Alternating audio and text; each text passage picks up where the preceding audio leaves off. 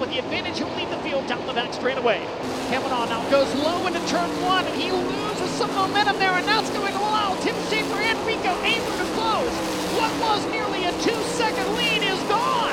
Here's Abreu to the inside of Shaffer for second. Rico Abreu with a slide job, and Rico Abreu will take second from the Steel City Outlaw. Shaffer back to his inside of one and two, and Shaffer returns the favor. Shaffer back to second. Now Abreu turns it back underneath him. Abreu back to second in the midpoint of the back straightaway. Kavanaugh still with the race lead. Now Shane Stewart up to challenge Shaffer for third. They'll go side by side.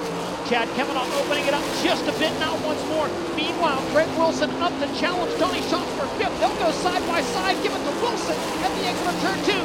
Greg Wilson drives by Donny Schatz for fifth. 12 laps in the books. Chad Kavanaugh leading Enrico Abreu in second. Tim Shaffer in third. Shane Stewart in fourth. Greg Wilson fifth. Donny Schatz in sixth. Now Stewart to the inside of Shaffer. Big slide job there into three and four. Shane Stewart gets by Tim Shaffer and he brings Greg Wilson with him. Wilson now looking to the inside of Shane Stewart for the fourth spot. Battle for the lead. Now here's Abreu to the inside of Kavanaugh. Slide job in turn four. New as they cross stripe on lap number 14. Rico Abreu has the race lead. Chad Kavanaugh running second. Now Shane Stewart up to the third spot and Stewart to the inside of Kavanaugh for second.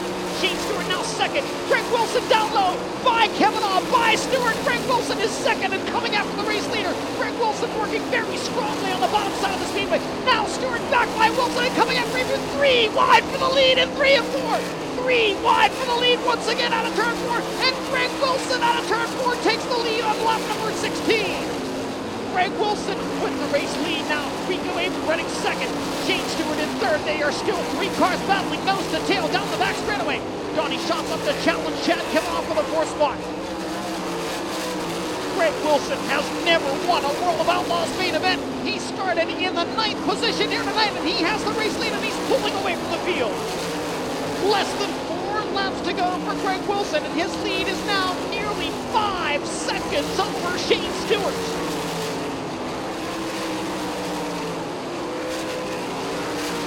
Three to go for a first career World of Outlaws victory.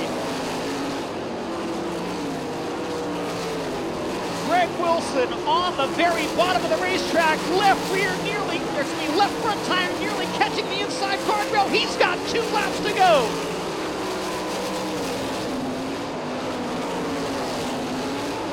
Turn three. And now to turn four, the white flag will wave. One lap remaining.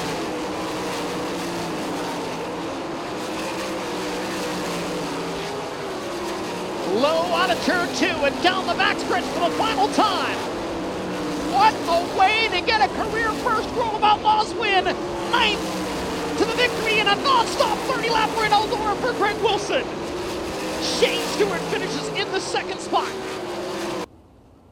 Ladies and gentlemen, getting his first career World of Outlaws victory and doing it from row five in a non-stop main event. Greg Wilson.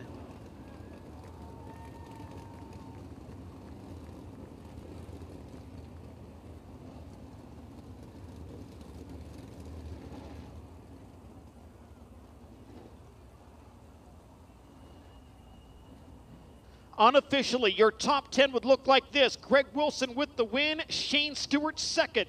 Rico Abreu third, Donny Schatz fourth, Dale Blaney fifth, Daryn Pittman sixth, Jason Sides seventh, Chad Kavanaugh eighth, Jacob Allen ninth, and Brad Sweet in tenth.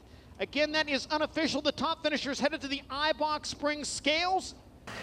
Ladies and gentlemen, for the first time in his career with the World of Outlaws, your winner, Greg Wilson.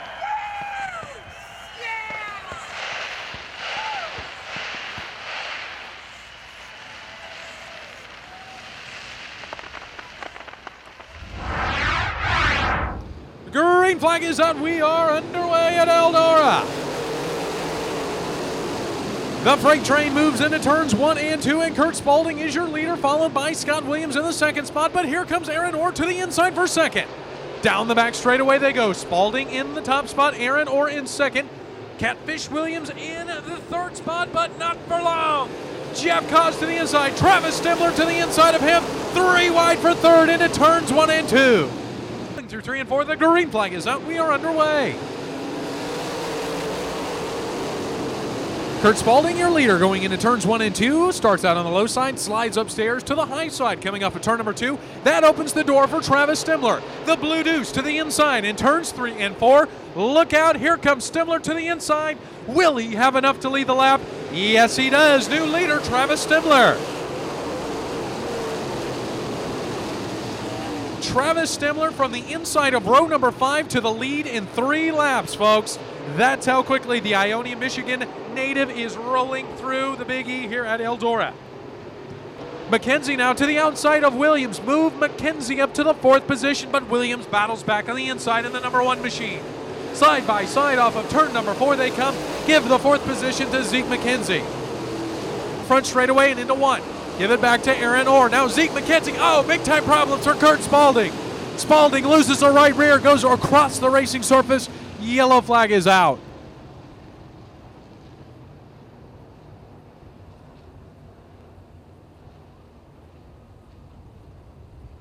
They look for the green flag. There it is. We are underway. Travis Stimler with a great jump, three wide for second, third, and fourth. It is a great traffic jam as we work through turns one and two.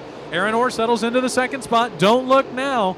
Zeke McKenzie battling for everything he's got. He's trying to fend off a hard charging number 116 of Jerry Bowersock. Zeke McKenzie and Jerry Bowersock continue to have the best battle out on the racetrack coming off of turn four for that third position. Bowersock using the right rear quarter panel of that 116 machine all to pieces as he rides the fence. Zeke McKenzie now settles into third and gets a right front to the left quarter panel of Aaron Orr. New driver in the second position. It is Zeke McKenzie in the 24M. And now Jerry Bowersock says, No, no, no, Mr. McKenzie, I want that second position, and goes after him down into turns one and two. But McKenzie opens up a three car length advantage down the back straightaway. Aaron Orr back to fourth. Meanwhile, up at the front, it is still Travis Stimler. The Blue Deuce riding around Eldora, making it look easy with a straightaway lead. White flag one more time around for Travis Stimler.